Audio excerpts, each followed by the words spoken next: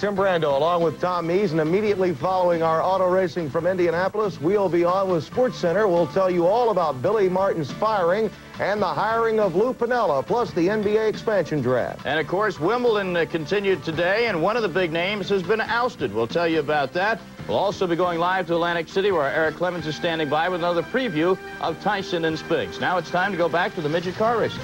Gary Lee and Steve Chassey. Let's go back to them now.